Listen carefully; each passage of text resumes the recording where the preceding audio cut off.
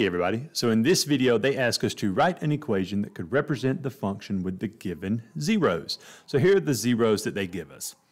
So we have plus or minus root 6 and we have 2i.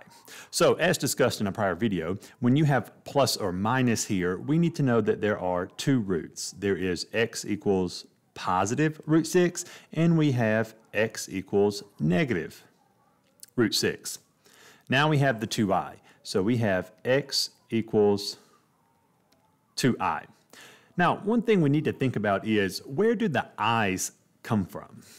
So we know they come from the square root of a negative number. So if I had something like this, if I had x squared plus 4 equals 0, let's say I tried to solve this. This gives me x squared equals negative 4, and when I solve by the square root, I have x equals plus or minus the square root of negative 4.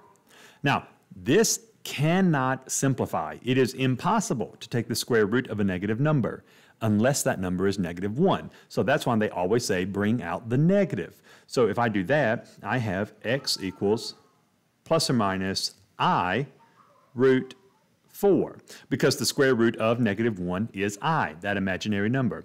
Now I can easily take the square root of 4 it's 2. So here I have plus or minus 2i. So the reason that I go through with this is so that we can make the point. Even though they only give you one i or one imaginary root, you must remember that you must include the conjugate. If they give you x equals 2i, we must remember that x equals negative 2i is also a root because Imaginary numbers come from taking the square root of negative values. So now that we have this, we can create linear factors to establish our polynomial. So we're going to take this square root of 6 and bring it over here, and that's going to be x minus the square root of 6. That's our first factor.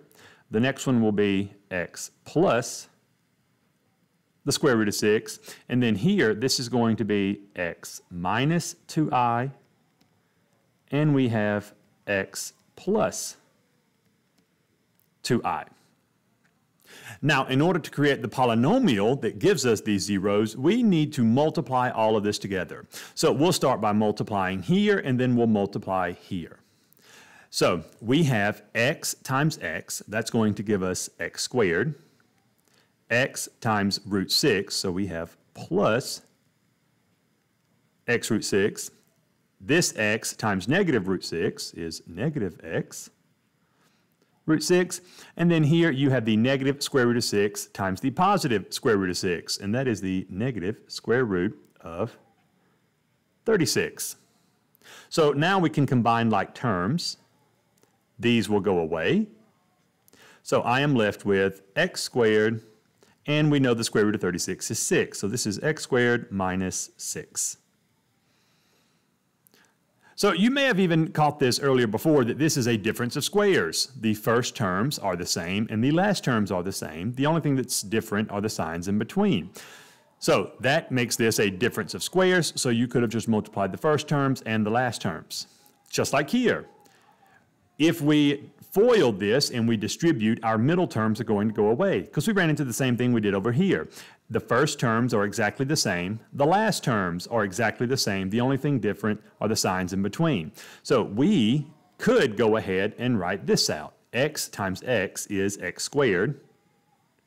And negative 2i times positive 2i is negative 4i squared.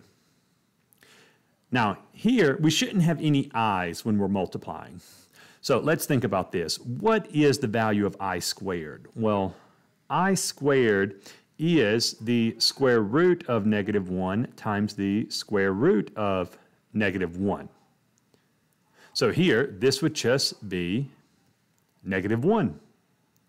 So now what we have is negative 4 times negative 1. This gives us a positive 4. So the two terms that I'm multiplying together are x squared minus 6 and x squared plus 4. So that negative 4 times the negative 1 is what made it positive. Now I can multiply these together. x squared times x squared is going to give me x to the fourth. x squared times 4 is going to give me 4x squared. Negative 6 times x squared is negative 6x squared.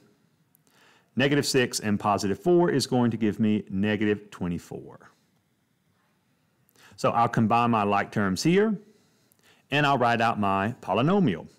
The function, which will give me these roots, is going to be x to the fourth minus 2x squared minus 24. And that's it. One quick thing to always note, however many zeros you have at the beginning, so here we have one, two, three, four. However many zeros are present, your final answer should have that number as its highest degree. So let's say you have four zeros, but when you were finished, this were five, or it were three, or really any number besides four. We've done something wrong in our algebra, and we would have to go back and check. So that's just something to keep in mind. Well, that's going to be all for this video. I hope that you found it helpful. If you have any questions, please leave them in the comments, and we'll see you all in the next video.